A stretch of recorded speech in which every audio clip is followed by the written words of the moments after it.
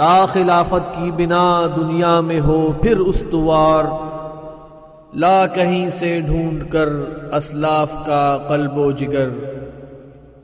बिस्मिल्लाहिर्रहमानिर्रहीम अस्सलाम वालेकुम नाजरीन। मैं हूँ आपका होस्ट वसीम अहमद और आप देख रहे हैं खिलाफत फोरम।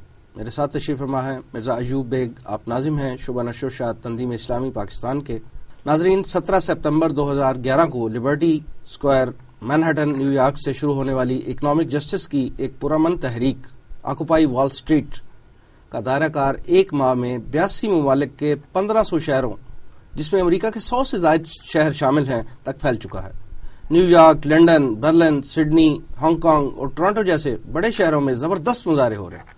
मुजाहरीन का ख्याल है कि हम गुरबा और उमरा के बढ़ते हुए गैप को ख़त्म करके वॉल स्ट्रीट पर कायम मालियाती इदारों जो हमारे मुआशी डिक्टेटर्स का किरदार अदा कर रहे हैं, उनसे निजात हासिल करके रहेंगे।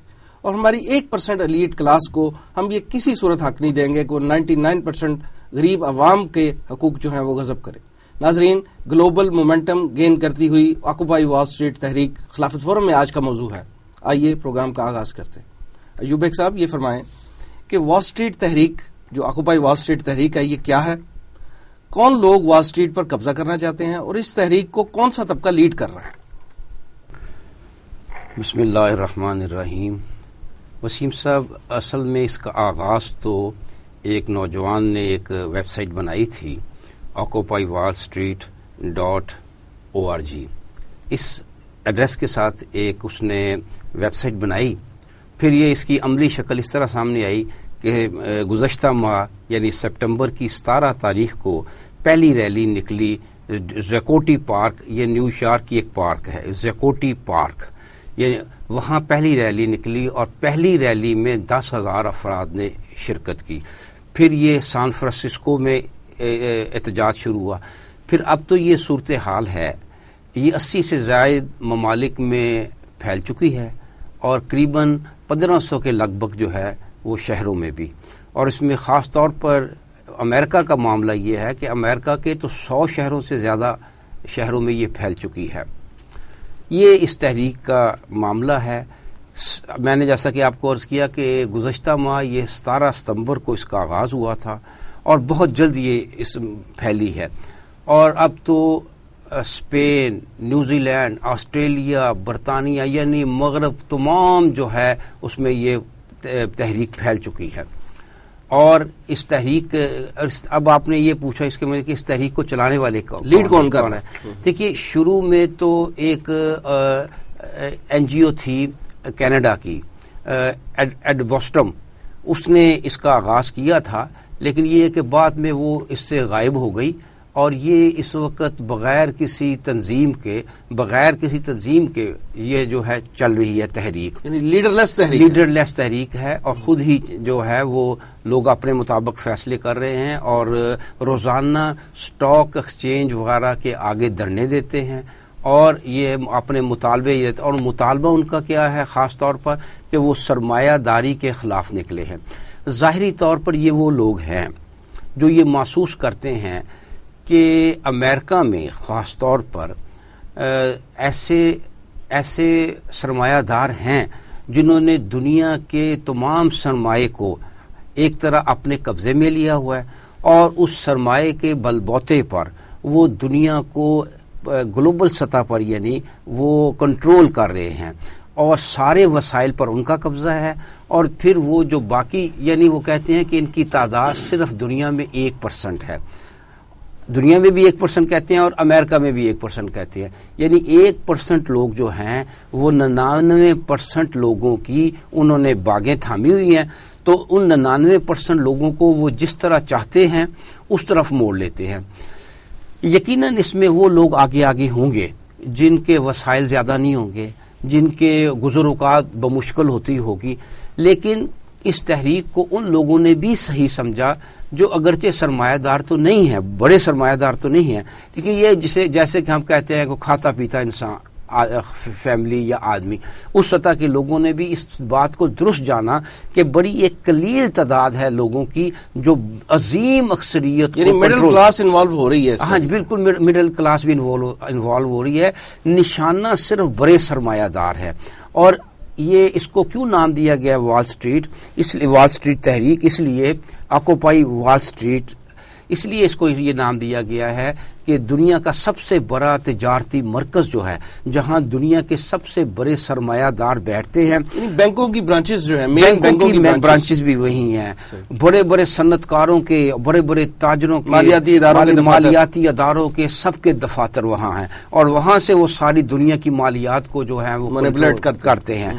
और उनका तरीकाकार यानी यही है कि जैसे आप देख ली, पुराने जमाने का वो यानी आप कह लीजिए जो रेरा या गधा गाड़ी चलाने वाला, वो गधे को उतनी घास डालता है या वो कुछ डालता है गधे जिससे गधा उसका काम दे।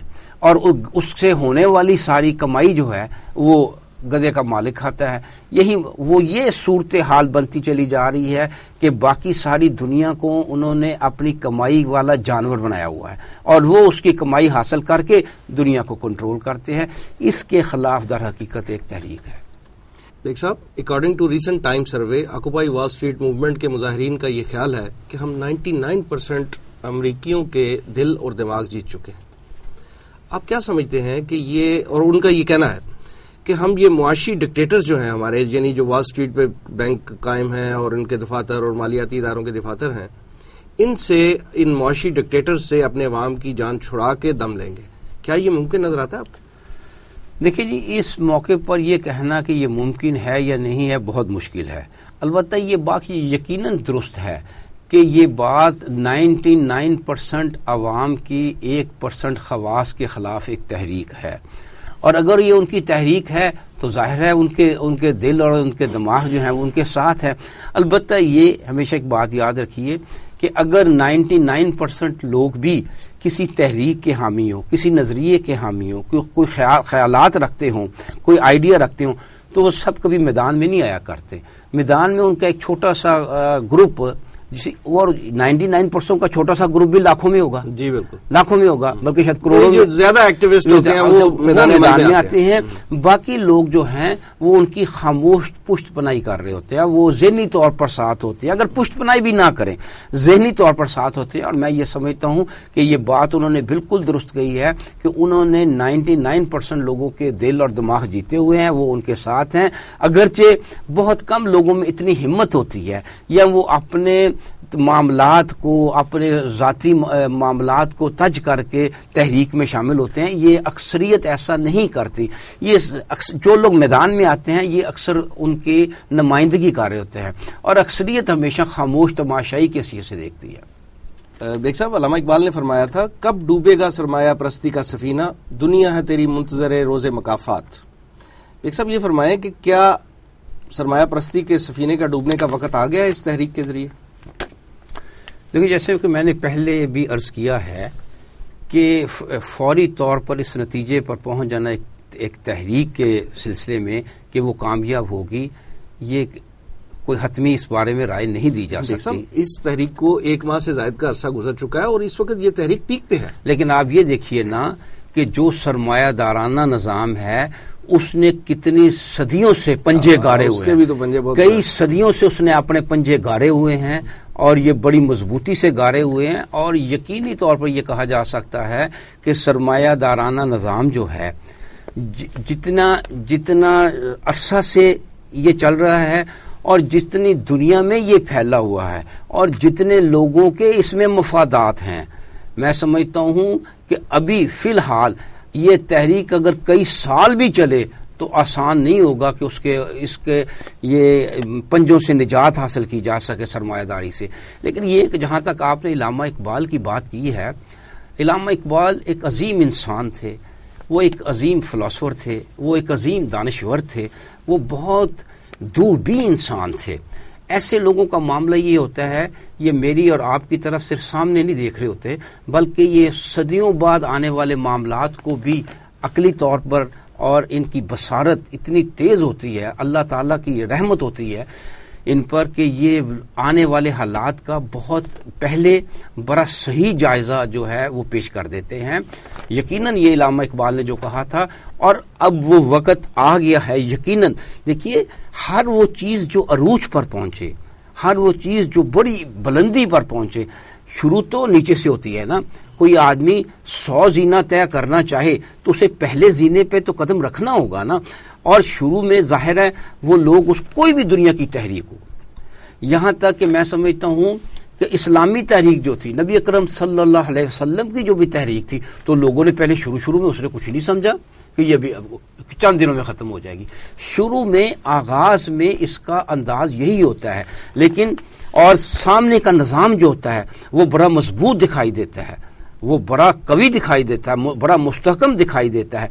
लेकिन ये है कि फिर ऐसी तहरीकें जो होती हैं, अगर आवाम में जर पकड़ जाएँ, और उन जो तहरीकें चलाने वाले होते हैं, वो सही वक्त पर सही फैसला करें। और आखिरी और हतमी बात ये कि अल्लाह रब्बुल इज़्ज़त की तरफ़ से वो वक्त आ चुका हो तो फिर कामयाब होती हैं और फिर वो जो है बड़ी बड़ी मुस्तकम किस्म के जो निज़ाम होते हैं वो उनके तख्ते उल्ट जाते हैं। तो ये ऐसा नहीं है कि यह नामुमकिन है। लेकिन अगर आप ये कहें कि अभी तक उसने उसको हिला कर रख दिया है तो वो मुतवजो ज़रूर हुए हैं। ये वो घबराए ज़रूर हुए हैं। तशवीश ज़रूर फैली है। लेकिन अगर आप ये कहें कि वो भागने वाले हैं, सरमायादार, तभी ऐसी कोई बात करीब करीब भी नहीं है। अयूब साहब, इकोनॉमिक जस्टिस मूवमेंट के मुजाहरीन का ये ख्याल है कि इस वक्त उनकी इस तहरीक को मीडिया इतनी पजीराई नहीं दे रहा, जबकि पुलिस बहुत अलर्ट है। आप क्या समझते हैं कि आया वो, ये वो जो बकौल इकबाल, फ्रंक की रगे जहाँ पंजा यहूद में है, अपनी आवाम को इनके मुआशी चुंगल से आज़ादी दिलवा सकेंगे?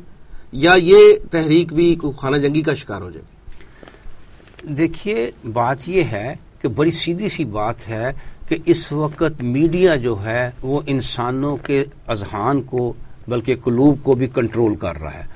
और सरमायादार ने इस सदी में, या इस सदी से इससे गुजशत सदी कह लें, गुजशत सदी से ये अंदाज अपनाया है अपने कब्जे का, अपने आप को मुस्तकम करने का, और दुनिया को अपने कब्जे में लेने का, कि उसने सबसे पहले मीडिया को कंट्रोल किया।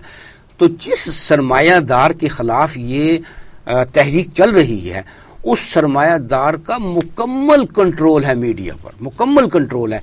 ये जो मीडिया पर, यूरोप के मीडिया पर इस के हवाले से खबरें आ रही हैं, ये नहीं है कि वो ये खुशी से खबरें दे रहे हैं। देखिए, मीडिया को ये मीडिया अपने खिलाफ भी जो है खबर जो है, वो अगर मुकम्मल तौर पर उसका बाइकाट कर देगा तो उसका नतीजा ये होगा, वो क्रेडिबिलिटी खो देगा। लोग उस पर इतमाद करना छोड़ देंगे कि हम तो सड़कों पे ये देख रहे हैं और मीडिया में उसका नाम निशान नहीं है। मीडिया अपना इतमाद बहाल रखने के लिए थोड़ी बहुत इस हवाले से खबर दे रहा है।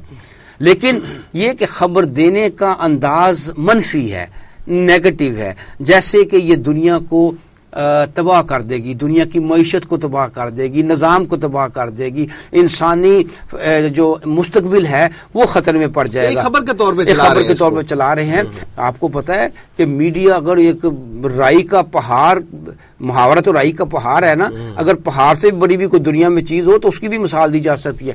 मीडिया तो कहाँ से कहाँ बात पहुँचा देता है? और उसमें कोई हुकूमत हो कोई बहुत बड़ी शख्सियत हो वो उसके इमेज को बिगाड़ने और इमेज बनाने में बहुत मेन रोल अदा करते हैं। साहब आपने नोट किया होगा कि पाकिस्तानी मीडिया खास तौर पे इलेक्ट्रॉनिक मीडिया में इस तहरीक की बिल्कुल मतलब वो आउट है इस तहरीक को। उन्होंने आउट किया हुआ है बिल्कुल कवरेज नहीं दे रहे ये पॉलिसी का हिस्सा है या इग्नोरेंस है? देखिए पाकिस्तान इस वक्त जिस तरह बेबस है और पाकिस्तान की जो हालत है इस वक्त उसके मुताबिक भी मीडिया भी उसी के मुताबिक है। और हमारा मीडिया जो है उसको भी तो वही कंट्रोल करते हैं वही सरमायादार कंट्रोल करते हैं। उन्हीं की तरफ़ से आ, अपना सरमाया आता है। आपने गुजशत दिनों सुना, सुना होगा कि पाकिस्तानी मीडिया को पाँच करोड़ डॉलर दिया गया है। तो पहली बात तो ये है कि आपने बिल्कुल दुरुस्त फरमाया कि हमारे इलेक्ट्रॉनिक मीडिया ने तो इसका बिल्कुल सफाया किया है बाइकाट एक तरह से बिल्कुल बाइकाट किया हुआ है इसलिए कि उनके आकाओं के खिलाफ है ये तहरीक। जो जिनसे वो सरमाया हासिल करते हैं उनके खिलाफ है ये तहरीक। लिहाजा खास तौर पर हमारे बड़े चैनल जो हैं वो किस तरह इस खबर को दे सकते हैं जो उनके आकाओं के खिलाफ हो? ये अमरीकियों के, फिर अमरीका के यहूदियों का मफादात के ख़िलाफ़ है। ये बैंकों के मफादात के ख़िलाफ़ है ये तहरीक। ये सरमाए के ख़िलाफ़ है तहरीक बहसीत मजमू तो जिस सरमाए से, आप देखते नहीं है कि सरकारी महकमों में, या अगर आपने पाकिस्तान की मिसाल दी है तो सरकारी महकमों में, या ये कि प्राइवेट लेवल पर भी, अगर तनख्वाहें दस हज़ार, पंद्रह हज़ार, बीस हज़ार पच्चीस हज़ार हैं, या पचास हज़ार को बहुत बहुत आगे चला जाए, बहुत तरक्की कर जाए तो पचास हज़ार, और मीडिया में बात लाखों से शुरू होती है। उनके पास सरमाए, लिहाजा उस सरमाए के तहफ़ के लिए, वो तो यूँ कह लीजिए ना कि ये तहरीक एक लिहाज से मीडिया के खिलाफ भी चल रही है। इसलिए कि वो कहते हैं कि उन्होंने ये दावा किया है कि हम सरमाएदार को भी और सरमाया जिस अंदाज से असरअंदाज हो रहा है उसके उसके खिलाफ ये तहरीक चला रहे हैं। तो सरमाया किस अंदाज से असरअंदाज हो रहा है? सबसे बड़ा ज़रिया जो है वो आ, मीडिया है। और मीडिया जो है वो इस बात को बड़े अंदाज से या तो इस बात को पेश नहीं कर रहा या ये है कि मनफी अंदाज में पेश कर रहा है। और पाकिस्तान में यहाँ मैं ये ज़मीनी तौर पर अर्ज़ कर दूँ कि पाकिस्तान में, देखिए, यूरोप में या अमेरिका में या ईस्ट यूरोप में वहाँ तो मसला है सनतकार का, वहाँ तो मसला है बड़े सरमायादार का, बड़े बड़े ताजरों का, बड़ी बड़ी तेल कंपनियों का, वो कंट्रोल करते हैं। यहाँ ये मुसीबत दोहरी है। यहाँ एक तरफ़ सरमायादार करता है दूसरी तरफ़ हमारे यहाँ जागीरदार भी है वडेरा भी है। आबादी के एक हिस्से को सरमायादार जो है वो कंट्रोल करता है वो उससे बाहर नहीं जा सकता और आबादी के दूसरे हिस्से को हमारा जागीर जागीरदार जो है और हमारे जागीरदार का जो रवैया है वो तो वैसे भी बड़ा जहलाना अंदाज में। तो और दोरी दोरी गुलामी हम बर्दाश्त कर रहे हैं। देखिए सन्नतकार बड़ा ताजर बड़ी खूबसूरती से बड़ी मोहब्बत से, बड़े खास अंदाज से गुलाम बनाता है। और दूसरे को महकूम बनाता है और हाकम बनता है एक तरीके से। उसने वो कुछ मराद भी देता है। हमारा जागीरदार तबका जो है वो इंतहाई जालमाना अंदाज तो डंडे से बनाता, बनाता है। वो उसमें तो कुछ ना कुछ दिखावा है ना उसमें जो सरमायादाराना निज़ाम है उसमें कुछ ना कुछ दिखावा है। अगर जो है वो भी दिखावा।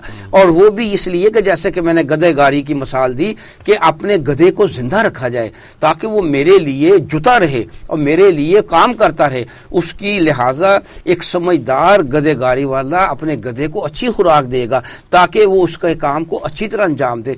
यहाँ तो मार देते हैं इंसान को भूखा मार देते हैं। ये हाल है।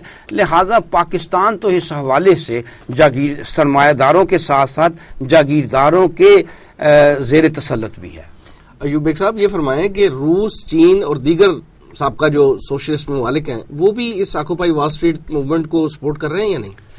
देखिए दुनिया में अमेरिका का और यहूदियों का जिस तरह का कंट्रोल है और जिस तरह वो मुनज़म हैं और जिस अंदाज में वो दुनिया को चला रहे हैं, इस हवाले से किसी लिए किसी के लिए भी ये तो मुमकिन नहीं है कि खुल्लम खुल्ला उनके खिलाफ मैदान में आए। लेकिन ये कि आपको मालूम है कि सरमायादाराना निज़ाम ने, अमेरिका ने और यहूदियों ने सोशलिज्म को और कैमरिज्म को किस तरह शिकस्त दी थी। जो शिकस्त खुर्दा होता है, वो चाहे ज़ाहिर ना करे। ज़ाहरी तौर पर वो मैदान में ना आए, लेकिन उसके जहन से, उसके दिल से अपनी वो शिकस्त निकल तो नहीं सकती।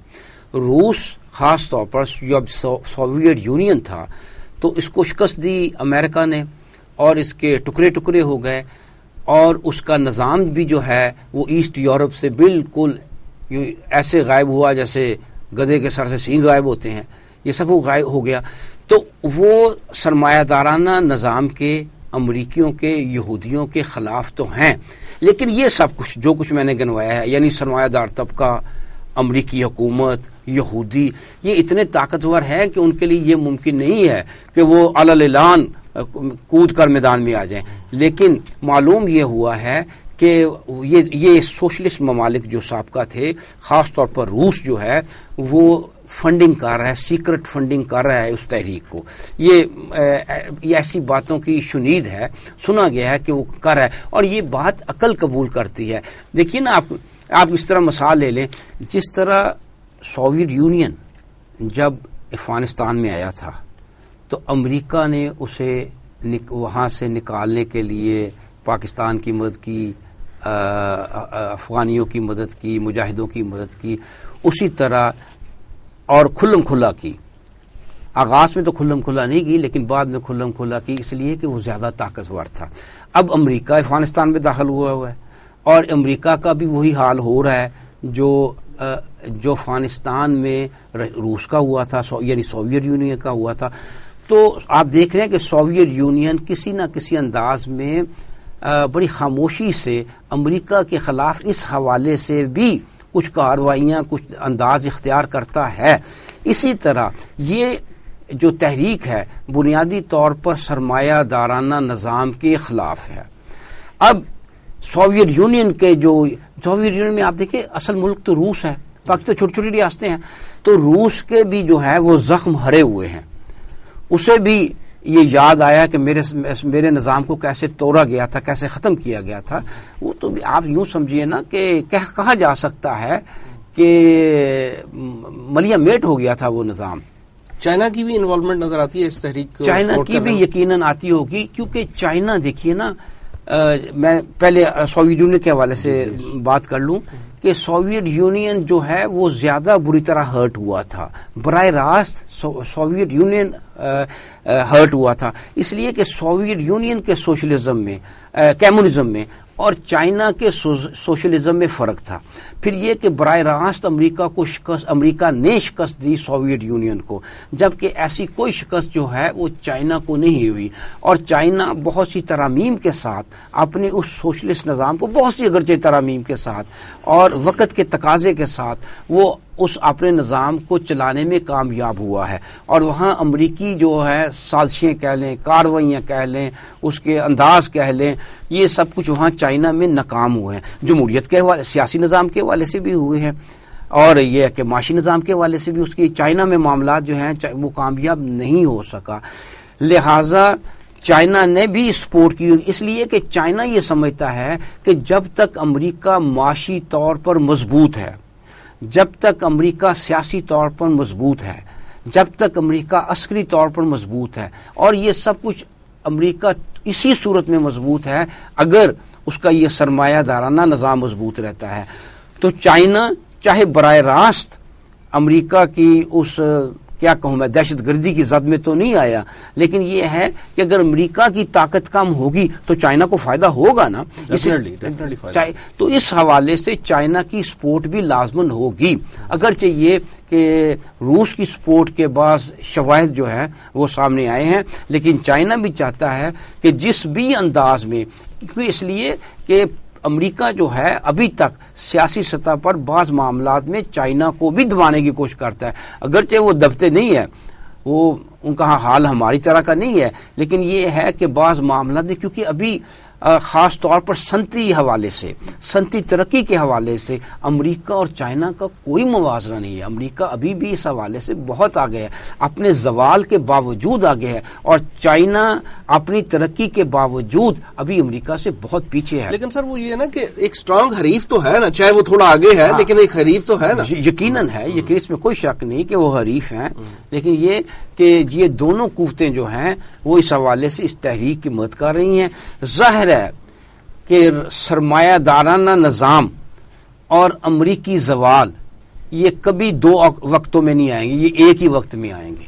अगर सरमायादारी का सफीना डूबता है तो अमेरिका तो चंद साल भी इस दुनिया में नहीं गुजार सकता एक सुपर पावर की हसी से बल्कि ये कहना भी गलत ना होगा कि अगर ये सरमादाराना निज़ाम डूब जाता है तो अमेरिका का शायद हशर सोवियत यूनियन से भी बुरा हो टुकड़े टुकड़े होने के हवाले से।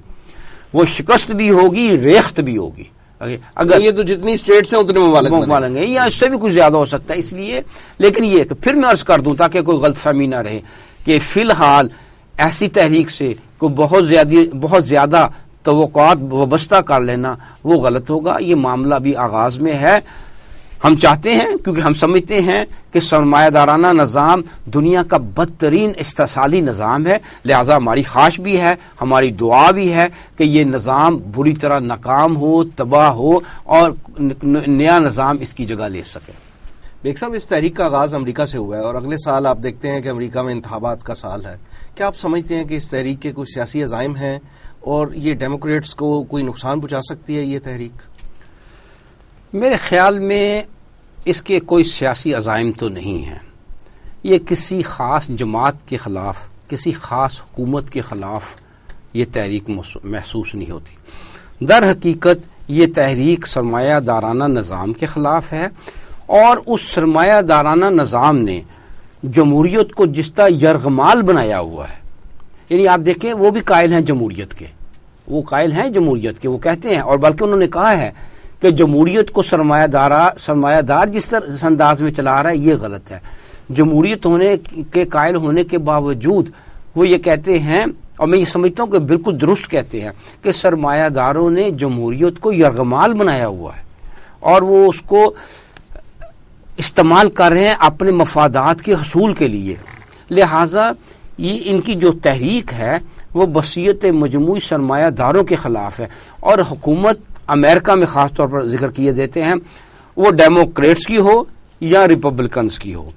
दोनों तरफ़ सरमायादारी हैं। इसलिए आप देखते हैं कि दोनों तरफ़ के जो कांग्रेस के लोग हैं और दोनों तरफ़ की जमातों के यानी अमेरिका की दोनों जमातें जो बड़ी जमातें हैं डेमोक्रेट्स डेमोक्रेट और रिपब्लिकन दोनों ने इसकी मुखालफत की है। सारी अमेरिकन पार्लियामेंट में सिर्फ़ एक शख्स है वो अपने आप को सोशलिस्ट कहता है। सिर्फ़ एक कांग्रेसमैन है जिसने इस तहरीक की हमायत की है। बाकी सबने इसकी मुखालफत की है।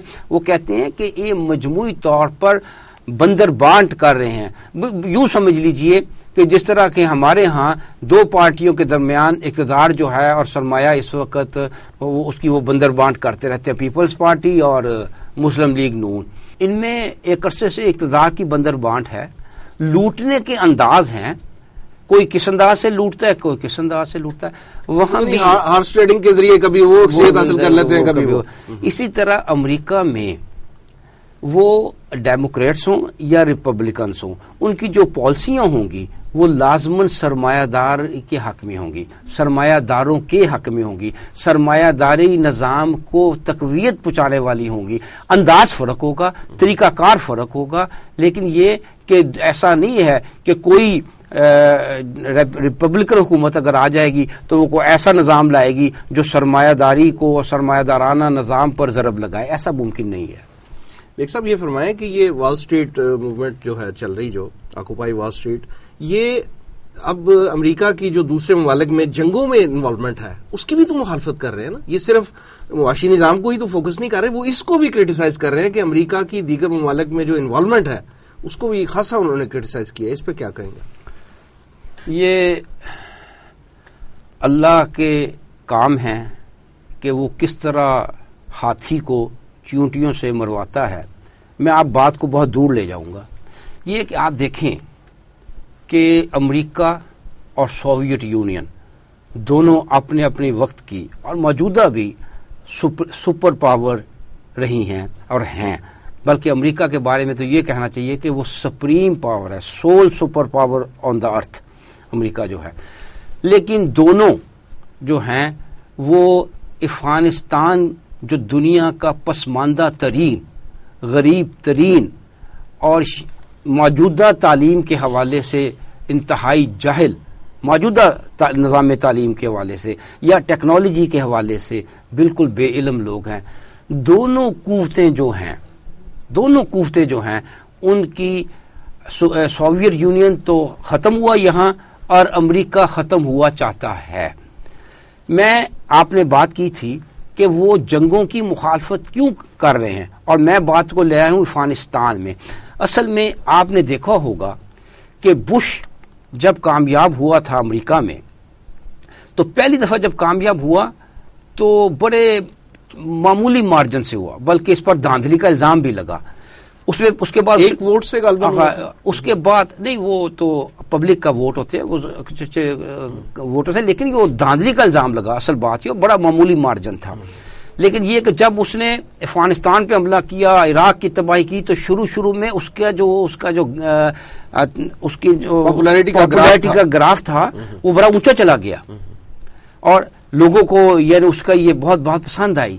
लिहाजा बात यह समझ आती है जिस तरफ़ मैं आपको लाना चाहता हूँ वो ये है कि अमरीकी अवाम का मामला भी ये है कि अगर अमरीका दुनिया को मारे और फतूहत हासिल करे तो वही लोग जो जंग की मुखालफत करते हैं वो बुश को अगले अगले टर्न में वो वोटों से लाभ देते हैं। उसको सपोर्ट करते हैं उसके पीछे खड़े हो जाते हैं। अब मामला ये हुआ कि अब जब बात नाकामी की तरफ़ चली अब जब बात जो है वो शिकस्त की तरफ़ चली तो वही वोटर जो है, जिन्होंने वोटों से लाद दिया था उसको, अब वो जंग के खिलाफ मुजाहरे कर रहे हैं।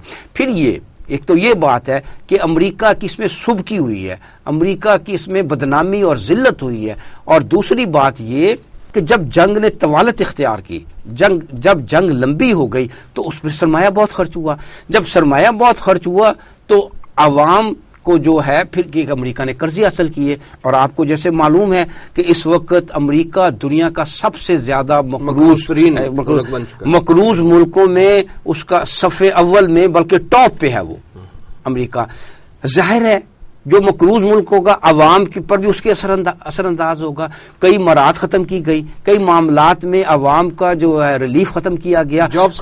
लिहाजा लिहाजा ये उन जंगों का नतीजा है कि अवाम पे माशी माशी मामला असरअंदाज हुए हैं। और जो है ये तहरीक जो है जंगों की मुखालफत भी इसलिए कर रही है कि सरमायादार अपनी वार इंडस्ट्री को चलाने के लिए जंगें करता है। अब ये बात सामने आई है। जब अमेरिका फतवात हासिल कर रहा था तो जैसा कि मैंने अर्ज़ किया कि वोटों से ला दिया बुश को। लेकिन अब जब नाकामी हो रही है तो इनका जेन इस तरफ़ गया है कि ये तो वार इंडस्ट्री को चलाने के लिए है। बहरहाल, मैं ये कहना ये चाहता हूँ कि अब अमरीका के लिए ये मुमकिन नहीं है कि अपनी वार इंडस्ट्री को तकवीत देने के लिए वो लोगों का खून निचोड़े। अपने मुल्की सतह पर भी और इन आलमी सतह पर भी। अयूब साहब अकुपाई वॉल स्ट्रीट मूवमेंट के जो मुजाहरीन हैं ये मुतबादल निज़ाम मीशत भी पेश कर रहे हैं या नहीं? वसीम साहब बहुत ही अच्छा और मुनासिब सवाल आपने किया है। मैं दरअसल समझता हूँ कि ये जो ऑक्यूपाई वॉल स्ट्रीट मूवमेंट है इसमें भी मनफी पहलू मुस्बत पहलू से ज़्यादा वाजे और ज़्यादा साफ़ नज़र आने वाला है। इसलिए कि अगर ये मूवमेंट होती फ़र्ज़ कीजिए get rid of Wall Street get rid of Wall Street होती तो हम कहते हैं ये सरमायादार से सिर्फ़ निजात हासिल करना चाहते हैं। लेकिन फिर भी मुतबादल तो देना ही पड़ता मैं अर्ज़ कर मैं अर्ज़ किए देता हूँ ना। मैं इनकी पहले बता, बता, बता रहा हूँ कि इसका आगाज़ भी मनफी सोच से हुआ है। ये भी आकोपाई है यानी उनकी जगह ये अगर ये आ जाए तो ठीक है। ये आकोपाई है ये गेट रेड ऑफ़ नहीं है। ये निजात नहीं उनसे चाहते ये उनकी जगह अपने आप को चाहते हैं। देखिए थोड़ी सी मुझे इजाज़त दी इस हवाले से। मैं थोड़ी सी तफसील से अर्ज़ करना चाहता हूँ कि दुनिया को उसकी तारीख का जायजा ले। सियासी सतह पे भी, मुआशी सतह पर भी। इंसानों ने मुख्तलिफ़ निज़ाम जो हैं, वो अपनाए और उनके तजर्बे किए। सियासी सतह पे कभी सरदार हुआ करते थे, लोग उनको सजदे करते थे, लोग उनकी नौकरी चाकरी करते थे, और वो बमुश्किल जिसे चाहता था, खाने को देता था, जिसे चाहता था भूखा रखता था। और जब चाहता था, किसी की जान ले लेता था, कोई उसको पूछने वाला नहीं था। वो निज़ाम आगे बढ़ा तो मलूकियत आ गई, बादशाहत। फिर बड़ी बड़ी सल्तनतें कायम हो गई। और ये जबर जो है, ये बढ़ता चला गया, बड़ी सतह पे होता चला गया। बादशाह एक है, उसके साथ कुछ, कोई दस हजारी बीस हजारी हैं और वो सारी आवाम पे कंट्रोल कर रहा है। और उसके बादशाह के मुँह से निकला हुआ लफ्ज जो है, वो उस कानून की सीयत रखता है। मालियाती सतह पर, माशी सतह पर बादशाह कोई इकदाम करता है तो there is nobody to challenge it कोई उसको चाहे कोई कोर्ट कोई अदालतें ये सिलसिला दुनिया में चला। आखिर होता है बादशाह का फरमान। फिर फ्रांस का इनकलाब आया जमहूरियत आई तो जमहूरियत आप देख ही रहे हैं कि दरअसल ये सरमायादाराना निज़ाम की की जमहूरियत जो है वो कनीज है। जमहूरियत जो है वो सरमायादाराना निज़ाम को पालने में उसकी हिफाजत करने में अस रोल अदा कर रही है। और वो जो बकौल शख्स वो गंदगी जो एक सर पर थी, बादशाह के सर पर होती थी, वो गंदगी जो है अब करोड़ों आवाम में फैला दी गई है। लिहाजा जो बात सामने आ रही है, वो ये आ रही है कि इंसान का मामला ये हुआ, अगर हम इंसानी तारीख को देखें तो हमें ये बात समझ आई कि इंसान की हैसियत एक फुटबॉल की है। कभी खिलाड़ियों ने चाहा तो उसे किक मारकर एक तरफ़ भेज दिया और कभी दूसरी तरफ़ के खिलाड़ियों ने उसे किक मारी और दूसरी तरफ़ चले गए। यानी कभी सरमायादाराना निज़ाम की इंतहा कि कुछ लोगों के पास सरमाया है, सब उसकी चाकरी कर रहे हैं। कभी कैमोनिज्म ने सरमाए पर हुकूमती कब्जा करने के लिए, देखिए कैमोनिज्म नाम क्या है? वो सरमायादारी पर, सरमाए सरमाए पर, सरमायादारी पर नहीं, सरमाए पर हुकूमती कंट्रोल का नाम है। निज़ाम कोई भी हो ठोकरे आवाम को ही पड़ेंगे। लिहाजा इंसान कभी ठोकरे खाता हुआ एक कोने में जाता है और कभी ठोकरे खाता हुआ दूसरे कोने में जाता है। लेकिन आप देखें कि दुनिया में वाद एक निज़ाम आया है अल्लाह की रहमत से। और वो आज से पंद्रह सौ साल पहले नबी अकरम सल्लल्लाहु अलैहि वसल्लम जो निज़ाम लाए हैं। इस्लाम का जो आदलाना निज़ाम है, वो एक वह निज़ाम दुनिया में आया है, जिसने ऐसी मसाले पेश की हैं। जब के वक़्त का खलीफा, वो लोगों की बकरियाँ ढूँढने के लिए जंगल में गया हुआ है। और वहाँ वो एक पत्थर को अपना तकिया बनाकर आराम भी कर रहा है। दुनिया ने पहली दफ़ा देखा कि जक़ात लेकर एक आदमी मारा मारा फिर रहा है। जक़ात लेने वाला नहीं मिलता। कौन सा वो माशी निज़ाम था जिसने ऐसा अदल पैदा किया कि जक़ात लेने वाला ना रहा? देने वाले के लिए ये अपना दीनी फरीजा पूरा करना दुशवार हो गया। साहब उस वक्त हंड्रेड परसेंट लोग जो है वो खुशहाल हो गए थे। आप अंदाज़ा कीजिए ना अगर ये ना कहे कि खुशहाल हो गए तो हर शख्स अपनी बुनियादी जरूरियात जो है वो बड़ी आसानी से पूरी कर रहा था। और वो जो आपने सुना है साहब निसाब थे लोग। साहब निसाब थे। इसीलिए वही हाँ, होगा ना लेने वाला कोई लेने वाला कोई नहीं होगा। हाँ, लेने वाला कोई नहीं मिलता था। यही इसी तरह अमनो मान का भी मसला ऐसा है कि अमनो मान कोई कत्लो गारत का मामला सालों बीत रहे हैं वक्त बीत रहा है और कोई वाक्य ऐसा हो ही नहीं रहा। और फिर ये है यही नहीं। आप देखिए सेहत का मामला कि नबी अकरम सल्लल्लाहु अलैहि वसल्लम के पास आपने चंद असूल बता दिए अपने अपनी कौम को कि ये सेहत के बुनियादी असूल ही हैं। मतलब कब कम खाओ, जब भूख लगे तो मैं मसाले दे रहा हूँ कि हर सतह पर, हर मैदान में आप देखिए कैसा इतदाल, कैसा अमन है। कि आपके पास एक हकीम आता है? कोई बेचते हैं, कोई एक बादशाह बेचता है, बतौर तोहफे के कि हकीम साहब आपके मरीजों का बहुत इलाज अच्छा इलाज करेंगे। वो बेचारा मक्खियाँ मारता रहे तो उसको पास मरीज़ ही कोई नहीं आता। हजूर के पास पेश होता है कि मैं इस तरह आया था, मेरे पास तो कोई मरीज़ ही नहीं आता। तो उन्होंने कहा, यहाँ लोग उस वक्त खाते हैं जब उन्हें भूख लगे। और अभी भूख खत्म नहीं होती तो वो अपना हाथ खींच लेते हैं। तो उस हकीम ने कहा तो फिर यहाँ बीमार कोई नहीं हो सकता। तो कहने का मतलब सिर्फ़ ये था कि वो माशी मामला हो, वो अदल का मामला हो, वो सियासत का मामला हो, वो आम सेहत का मामला हो। फिर आप फरमाते हैं, आप देखिए कानून का मामला देखें कि जब एक फातिमा नामी औरत ने किसी ने कोई चोरी की तो कुछ लोगों ने उसकी सिफारिश की तो नबी अकरम सल्लल्लाहु अलैहि वसल्लम का जवाब बड़ा मशहूर जवाब है। यानी अदल का मामला देखिए, कानून की मस, यानी कानून कितना अंधा है तो उसका नतीजा तो ये निकलना था कि एक एक अमन की कैफियत हर शोबे में कायम हो गई। ये थी असल चीज़। लिहाजा, अगर दुनिया इस वक्त ठोकरे खा रही अगर ये तहरीक सिर्फ़ ये चाहती है कि आकोपाई वॉल स्ट्रीट तो फिर सिर्फ़ ये है कि चेहरे बदल जाएँगे। पहले कुछ और लोग इस्तेसाल कर रहे थे, बाद में कुछ और लोग इस्तेसाल करेंगे। पहले जिनका इस्तेसाल हो रहा था, वो उनका इस्तेसाल करेंगे जो पहले इस्तेसाल कर रहे थे। जुल्म कायम रहेगा, जबर कायम रहेगा। लगता यह है कि मालूम यह होता है कि बावजूद इन नाकामियों के, यूरोप और अमरीका जो है और दूसरे जो है ये लोग जो साइंस में, टेक्नोलॉजी में इतनी तरक्की कर गए हैं, दरअसल इनकी एक आँख खुली है, दूसरी आँख इनकी बंद है। ये रूहानी सतह पे कुछ देख ही नहीं सकते, इनका मामला ही नहीं है। और यूँ महसूस होता है, जैसा कि वो सूरह बकरा में अल्लाह ताला भी फरमाता है ख़त्म अल्लाह कलूब हिम वाला समी हिम वाला अबसार हिम गिशावा वला अजाबुन अजीम। ऐसा मालूम होता है कि इनके दिलों पर इनके कानों पर, इनकी बसारत पर मोहर लग चुकी है। ये इस तरफ़ तोजो ही नहीं कर रहे कि कौन सा वो निज़ाम है जो वाक़ता इंसानियत के लिए अमन ला सकता है, जो वाकत वाकता इस दुनिया को जन्नत की, जन्नत नज़ीर बना सकता है।